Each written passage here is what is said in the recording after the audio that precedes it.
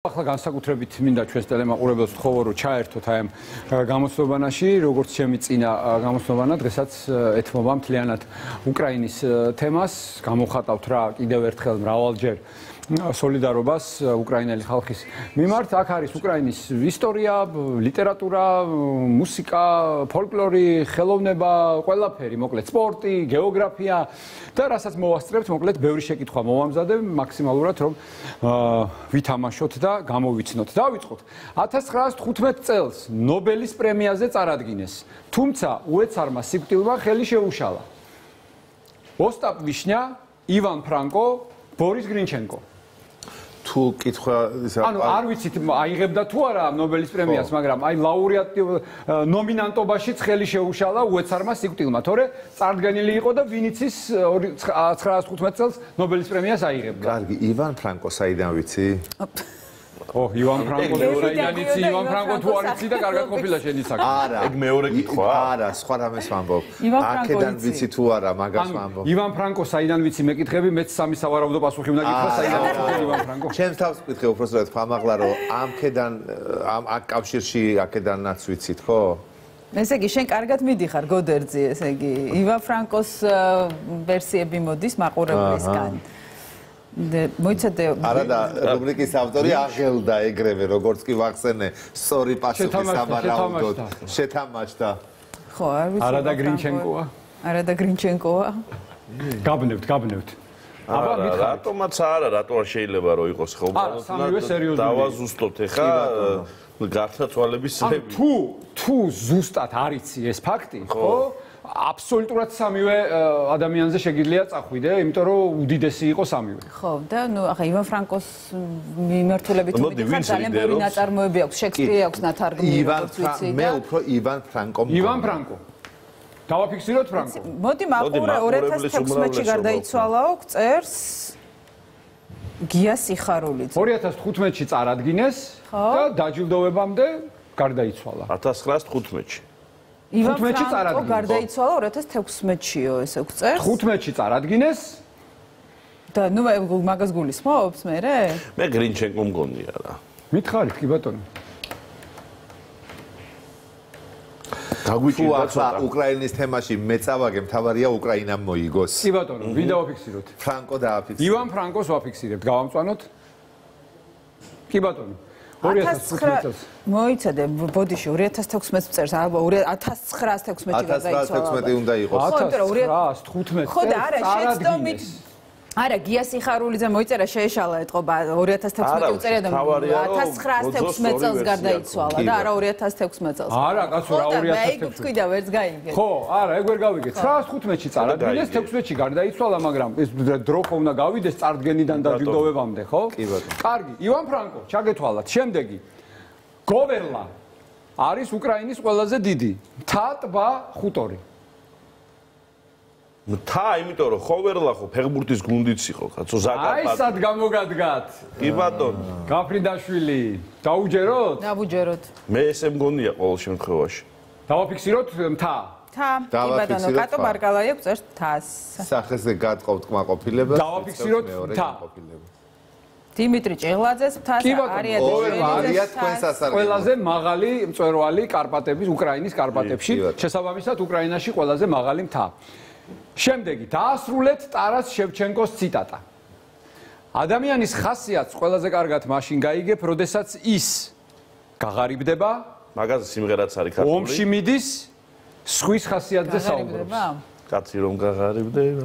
ეგ ეგ გურიაში. მე რატომღაც ჩემს ვერსიას ვარ. ეგ გურიაში, ცოლს დაუწყებს ჯავრობასო, ეგ გურ ეგ გურიაში. ეგ გურიაშია. გინდა ჩემი ვარდი. მაგრამ აი ტარას შევჩენკო რას ამბობდა? ომში რომ მიდისო. მე მგონია რომ სხვის ხასიათზე საუბრობს არის სწორი ვერსია აქ. ეგ თანამედროვეებში უფრო მისადაგებული იქნება. ტარას შევჩენკო თავის დროზე იყო თანამედროვე. ტარას შევჩენკო ახლაც თანამედროვეა. ნუ თავისთავად, მაგრამ ალბათ მე გაღარიბება მგონია.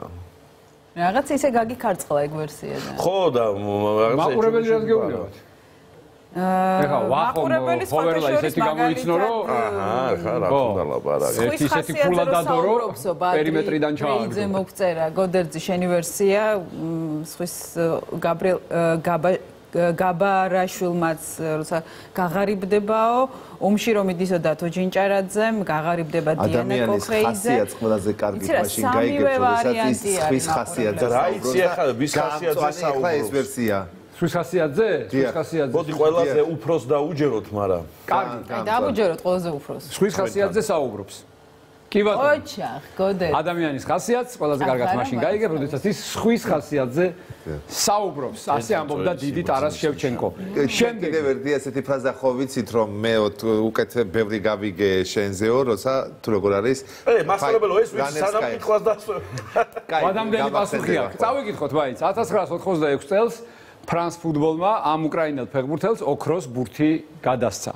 ალექსი მიხაილიჩენკო, იგორ ბელანოვი, გენადი ლიტოვჩენკო. იგორ ბელანოვი, რომელმაც უკვე მანაც აიღო იარაღი ხელში და ისიც კიევში არის და იბრძვის თავისი დედაქალაქის დასაცავად, ისევე როგორც მისმა უფროსმა ვეტერანმა კოლეგებმა და უმცროსმა ვეტერანმა კოლეგებმა. ეს ოქროს ბურთი იცით რომელია გაგახსენებთ? აი, ხან მესი და ხან რონალდო რო იღებდა და რო ხოცავდნენ. ერთმანეთს აი ეს ის ოქროს ბურთია 86 წელს ფრანს ფუტბოლმა. იგორ ბელანოს გადასცა იგორ ბელანო. შესაბამისად ეს ავტომატურად ნიშნავდა რომ ის ევროპის საუკეთესო ფეხბურთელი იყო. იმ წელს. იმ წელს 86 წელს. რო ფაზის გახსენება მინდოდა გამახსენდა. თქვენ იმდენი გლანძღეს მივხვდი რომ კარგი ადამიანი იქნებოდითო. კი ბატონო. შემდეგი. იტალიელმა კოლეგებმა მას კინემატოგრაფის ჰომეროსი უწოდეს. ალექსანდრე დოვჟენკო სერგეი ბონდარჩუკი იგორ პოდოლჩაკი. ალექსანდრე დოვჟენკო. სერგეი ბონდარჩუკი შეგახსენებთ ოსკაროსანია. გავიგე, ალექსანდრე დოვჟენკოს უწოდეს ჰომეროსი. იცის კაცმა და დაუჯერე შენც. ჰომეროსი იცის თუ დოვჟენკო? ო, აზრით ორივე იცის. ანუ უჯერებთ, მაყურებელს არ ვეკითხებით. როგორ არ ვეკითხები? როგორ არ ვეკითხები, მაგრამ ყველა გვწერს დოვჟენკოს. დოვჟენკო, დოვჟენკო, ბოდის დოვჟენკო, დოვჟენკო, გაამწვანეთ ალექსანდრე დოვჟენკო. იცით რატო რატო ვიცი ეს? ხოჭები უფრო მეტი მიდის და დოვჟენკო. და დაახლოებით 10 წლის წინ მინდოდა სტაჟირება გამევლო ამ კინოსტუდიაში. და უარი მივიღე. რატომ მიიღე უარი? აქ მივიღე უარი, იქ არა. აა. გასაგებია. მოკლედ ჰომეროსი, კინემატოგრაფის ჰომეროს უწოდებდნენ მას იტალიელი კოლეგები და იტალიელებმა ახლა კინო იციან. მოდი შევთავაზეთ. აა გალიციის მთავარმა დანილო რომანოვიჩმა მე-13 საუკუნეში დაარსა ქალაქი. ხერსონი, ტერნოპოლი, ლვოვი. მე ლვოვი მგონია. ლვოვი მგონია მეც, იმიტომ რომ ხერსონი არა. მე-13 საუკუნეში. კი ბატონო, ლვოვი. გალიციის თავარმა დანილო რომანოვიჩმა. გალიცია თუ გაიხსენებთ გალიცია რომელი მხარეა უკრაინის? რომელია? დასავლეთია? დასავლეთია. ხო და დასავლეთი თუა მაშინ დასავლეთში რომელი ქალაქებია აქედან? ნუ ლვოვი, დასავლეთ უკრაინა და ტერნოპოლი. მოკლედ 50-50-ზე, ან ლვოვია, ან ტერნოპოლი. ნუ ლუოვიო თქვა ვახომ და მოდი დაუჯეროთ ვახოს. ხო, მარა ესე მაგრამ ისიც თქვა ჩელსი მოიგებს წელს ჩემპიონთა ლიგას რომ არ მოიგებს. აღარ თუ არ მოიგებს. იცი რა, მაყურებლების პასუხი კატო ბარკალაია, ბადრი დრეიძე, ირაკლი მეგრელიშვილი, მარინე ნატროშვილი, გაბრიელ გაბარაშვილი, თეონა ვაჭარაძე, ირმა მიქაძე, სულოვია მეგრელიშვილი, ყველა ლვოვს წერს. ტერნოპოლი არაო? გავამწვანო სწორი პასუხი. აა, ესე იგი ტერნოპოლია? არა, ლოვია, ლოვია. ო, რას გვაშინებ და გვანებულებ. არ გაშინებ, ასო ცოტა რაღაცა ინტრიგა, ინტრიგა, რა. დამანახე. დამანახე ცოტა. აბა რომეო და ჯულიეტა. აჰა. უკრაინულ ენაზე პირველად თარგმნა მიკოლა ვორონმა, პანტელეიმონ კულიშმა, ტარას შევჩენკომ. ტარას შევჩენკო. ტარას შევჩენკო. დედა. აბა თუ გახსოვთ, მოდი მინიშნებას მოგცემთ ეს. არ ვიცი დაგეხმარ დაგაბნევთ თუ დაგეხმარებათ აი გველაძულობას ჩავიდეთ. მაშინ არ გვინდა. მიდი. მე გითხარით წინა გამოცნობანაზე შეკითხვა გქონდა უფრო სწორად. მოკლედ ყველა თარგმნა ბიბლია პირველად უკრაინულ ენაზე. აბა თუ გახსოვთ ვინ იყო ეს ხო. ბიბლია რო თარგმნა სრული თარგმანი. ძველი აღთქმა ახალი აღთქმა ვინ იყო? შევჩენკო იყო? ხო და გახსოვთ ვინ იყო მაშინ? თქვენ მაშინ გამოიცანით. გამოვიცანით მაგრამ დაგვავიწყდა გაგვახსენე ცუდად იმახსოვრებენ. კარგი, მაშინ იყო პანტელეიმონ კულიში. ხო. აა, კულიში იყო. ვინც თარგმნა უკრაინულ ენაზე პირველად ბიბლია, სრული თარგმანი. ხო, მაგრამ რომეო და ჯულიეტა თარგმნა ტარა შევჩენკომ. რატო იყურება? არაფერი მე იცი რა. მოკლედ გაამწვანე ტარა შევჩენკო. ტარა შევჩენკოს აფიქსირებთ. ვაფიქსირებთ ტარა შევჩენკოს, იმიტომ რომ ყველა, მაგრამ ირმა მიქაძე პულიშიო მოიწერა, დიმიტრი ჭიღლაძე პულიშიო. ა რომეო და ჯულიეტა უკრაინულ ენაზე პირველად თარგმნა ერთი შეკითხვა მაქვს ხოლმე. ეხა ეხა გამომდაცვა. მოდი გავამწვანოთ, იცი ვინ? მიკოლა გავამწვანოთ. მიკოლა ვორონი რატო ამოაგდეთ საერთოდ? ხო. და იცი რა? რამდენი შეკითხვა იყო უკვე? აღარ მახსოვს. 6 თუ 7 ხო იყო? 7 იყო. 7. რაც იყო ხო მოვიგე? დათო ჯინჯარაძე და ეს ერთი წავაგოთ და იყოს მიკოლა. ანუ პირველად უკრაინულ ენაზე რომეო და ჯულიეტა თარგმნა მიკოლა ვორონმა. გაამწვანეთ სწორი პასუხი. რა საზიზღარი? პანტელეიმონკული. ხო და თქვი, კიდე მე ვარ საზიზღარი? ბიბლია ვინ თარგმნა თქო? გითხარით პანტელეიმონკულიშვა თარგმნა თქო ეს კაცი თავის ცხოვრების უდიდესი ნაწილი თარგმანში იყო. ნოგვატუებ ხალხი ხალხი ყველაფერს ხედავს. აა, კაი, მაშინ ბიბლია პანტელეიმონმა თარგმნა. კი ბატონო. ასე თქვი. ესე იგი ეს ნიშნავს, რომ წავედით ხოლმე. და შენით რაღაცა ხომ უნდა გავაკეთო. ინტრიგა ხო და მანახეო და და განახე, კაცო. შემდეგი. NBA-ში პირველი უკრაინელი იყო. ხო. ალექსანდრე ვოლკოვი, ვიტალი პოტაპენკო, სტანისლავ მედვედენკო. პოტაპენკო? პოტაპენკო. თუ მედვედენკო მოიცადე ერთ წამი? მე კალათბურთში სუსტი ვარ. მედვედენკო თუ პოტაპენკო? ვოლკოვი არა. პირველი უკრაინელი, ვინც ითამაშა, პირველი ადამიანი უკრაინული პასპორტით. წავიდა. ვაი, ნაციონალურ საკალათბურთო ასოციაციაში. დადო კონტრაქტი. მედვედენკო. სტანისლავი. მედვედენკო? კი ბატონო. რა გვეუბნებიან? მედვედენკოს გვეუბნება ირმა მიქაძე. როგორც ის სწორ ვერსიას მოისმეს, ეგრევე მოტრიალდებოდა რა გვეუბნება ხალხი. დათო ჯინჯარაძე მედვედენკოს გვეუბნება. მედვედენკოს ფიქრობ კი. გადაგიყვანო ნერსებიდან. მედვედენკოს წერს. ხო, შეიძლება ვწდებით, მაგრამ კარგი. დააფიქსირეთ მედვედენკო და სწორი პასუხია პოტაპენკო. პოტაპენკოს წერს ბადრი დრეიცის. ალექსანდრ ვოლკოვია სწორი პასუხი, კიევის ბუდიველნიკიდან წავიდა და პირველი ის იყო უკრაინიდან, ვინც კონტრაქტი გააფორმა NBA-ში. კარგი, შემდეგი. ხარკოვის მეტალისტის ყველა დროის საუკეთესო ბომბარდირია. ნოდარ ბაჩიაშვილი, ვოლოდიმერ ლინკე, მარკო დევიჩი. ნოდარ ბაჩიაშვილი არწერია, საათ? ჯაკობია ერთ-ერთი ლეგენდაა, მაგრამ ხო, კაპიტანი იყო, მაგრამ გოლები მათ მეტი აქვს. ნოდარ ბაჩიაშვილი. ეს საბჭოთა პერიოდია. ნოდარ ბაჩიაშვილს სხვათა შორის 68 გოლი აქვს გატანილი მეტალისტის შემადგენლობაში და ძალიან ემადლიერებოდნენ. აა მარკო დევიჩი მე მწვრთნელიც ხო იყო. კაი, ლინკეს წერს ბევრი. მარკო დევიჩი არის სერბი, რომელმაც უკრაინის მოქალაქეობა მიიღო. ვოლოდომირ ლინკე არის ეს ბომბარდირი 98 გოლი აქვს გატანილი. გვისმინა, გვისმინა გოდერძემ და სწორი პასუხი გამოიყვანა ვოლოდიმერ ლინკა. 98 გოლით გაამწვანე ლინკე ლიდერობს. არც ნოდარბაჩიაშვილი? არავინ. არც მარკო არც არავინ ლინკე.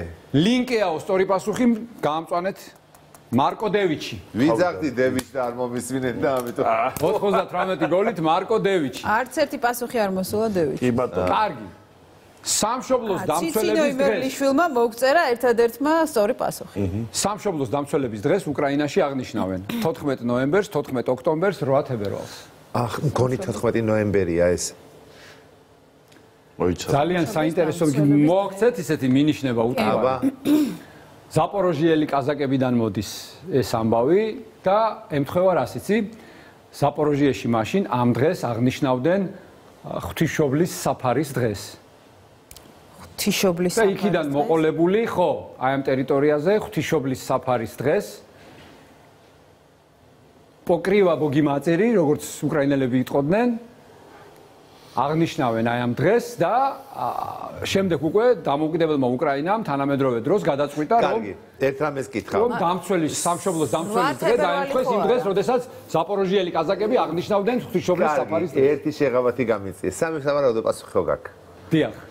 მითხარი 14 ნოემბერი არის თუ არა, მაინც შეება ორი ვარიანტი. 14 ნოემბერი არის. მე მგონი რომ 8 თებერვალია. მაშინ ვერსია არ მაქვს. რატო გონია და რატო არ გონია 14 ოქტომბერი? მოდი ახლა ამაზე ვიკამათოთ. იცი რა, რაღაცა ეს არის ოფიციალური დღე, დასვენების დღე მთელ უკრაინაში. რადგან რელიგიური მიმართულებით წავიდა მარხვის პერიოდი. აი ხა უნდა წახვიდეთ თქვენ ზაპოროჟი თუ ზაპოროჟიელები ღვთისმშობლის საფარის დღეს როდის აღნიშნავდნენ? კარგი. აი 14 ოქტომბერიო ადრიანა. 14 ოქტომბერიო? კი, ადრიანა შველიძემ მოგწერა 14 ოქტომბერი. დიმიტრი ჭიღლაძემ 14 ოქტომბერი. ბატრი დრეიძე ფიქრობს 8 თებერვალს. 14 ოქტომბერს დაუჯერებთ. 14 ოქტომბერს დაუჯერებთ. 14 ოქტომბერი გავამწვანეთ. 8 თებერვალიო დავით ჯინჯარაძემაც. 14 ოქტომბერი. მაგრამ ამ კითხვის სწორი პასუხის გამოცდომაში გოდერძიმ შეიტანა ყველაზე დიდი წვლილი, იმიტომ რომ ერთი პასუხი გამოარიცხნა, გამოსტყვა. კარგი, თუ გვაქვს დრო შემდეგიც გავუშვათ. უკრაინის სუვერენიტეტისა და ტერიტორიული დაცვისთლიანობის დაცვისთვის ერთი სიტყვა გამორჩენილია, ტერიტორიული მთლიანობის დაცვისთვის გადასცემენ იაროსლავ ბძენის ორდენს, მოციქულთა სწორი ოლღას ორდენს, ბოგდან ხმელნიცკის ორდენს. იაროსლავ ბძენის ორდენს. მე მგონი, ხო, იაროსლავ ბძენის ორდენია ეს. იმიტომ რომ ამ სამიდან ყველაზე მეტი ვინი ბრძოლა? ბოგდან ხმელნიცკმა. მერე? ბოგდან ხმელნიცკი. კაი, გამზარდე პასუხი. ბოგდან ხმელინსკმა მაშინ. ეცა ია არა, იაროსლავ ბრძენმაც იბძოლა, მაგრამ აი როგორ არის ბრძოლა, მაგრამ ბოგდან ხმელინსკის რო ახსენე პირველი რაგაცაზე რომელი მე წინაზე მქონდა ივან ჟდანროგი. ივან ჟდანროგი. ანუ რეალურად აღმოჩნდა რომ ჟდანროგი უფრო პატრიოტი იყო? ვიდრე ბოგდან არა უფრო პატრიოტი არ იყო არა ხედვები ჰქონდა ხედვები ხო ხო ხო ხედვა. პატრიოტი იყო. საგარეო ორიენტაცია ჰქონდა ცოტა განსხვავებული. ბოგდან ხმელნიცკი ფიქრობდა რომ მაინც რაღაცა სამხედრო კავშირი რუსეთთან ჰქონდესო მოსკოვის რუსეთთან. და საბჭოთა ლიტერატურაში ბოგდან ამბობდა რომ არაო ჩვენთვის რაც პოლონეთია რაც ოსმალეთია იგივე დამპყრობელია მოსკოვიც აი განსხვავდებოდა მათი ბოგდან ხმელნიცკი იყოს. იყოს ბოგდან ხმელნიცკი ბოგდან ხმელნიცკი კი ბატონო კი ბატონო, და რა ვიცი, ხალხო თუ გამოუშვით, ესე იგი გვაქვს დრო, თუ არა და დავამთავრეთ. ორი ვარიანტი. აა, ბოლო იყო ესა? დედა, ამოვწურეთ. კი, ორი შეცდომა დაუშვით სხვათა შორის, მე დავითვალე. ერთი მე პირადად, ერთი პანტელეიმონ კულიში და მეორე ვოლკოვი აგვერია მედვედენკოში. კარგით, მარკო დევიჩიც, მაგრამ ვინ გითვლით, კაი.